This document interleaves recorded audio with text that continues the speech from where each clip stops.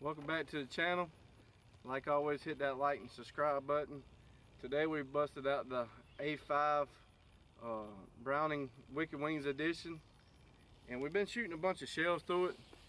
And why not shoot some Browning Wicked Wings shells out of a Browning Wicked Wings? Let's see what they do.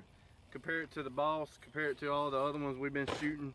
Uh, these are these are three inch number fours. So we got some targets at 25 yards and 35 yards. We got the mod extended uh, choke tube in there. Let's see what she does.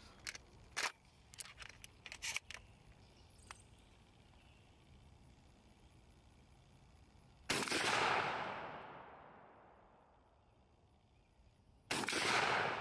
go see what that looks like.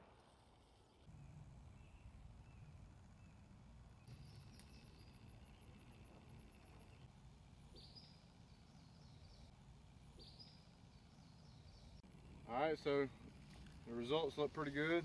That's that's both some dead ducks and that was the a5 um, like i said before follow along watch the other videos. We got all kind of ammo running through these guns.